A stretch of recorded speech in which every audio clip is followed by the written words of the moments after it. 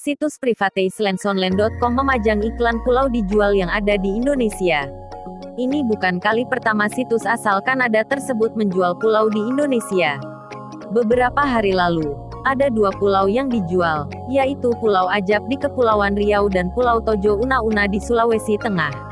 Pulau Ajab yang jaraknya hanya 20 menit dari perairan Bintan dijual dengan harga 3,3 juta dolar atau sekitar RIP 44,5 miliar, kur, RIP 13.500 dolar. Disebutkan, pulau itu memiliki luas hingga 74,13 hektar dengan status masih perawan alias belum dikembangkan. Sedangkan pulau kedua yaitu Pulau Tojo Una-Una di Sulawesi Tengah disebutkan harganya sesuai permintaan. Pulau ini memiliki luas 3.089 hektar. Akan tapi, pada hari Jumat, tanggal 19 Januari tahun 2018, Pulau Ajab lenyap dari laman tersebut.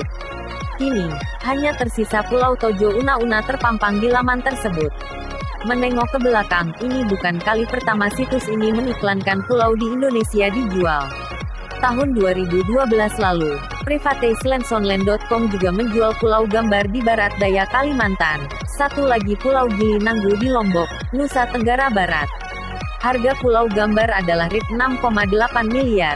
Sementara pulau Gili Nanggu ditawarkan dengan kisaran RIP 9,9 miliar.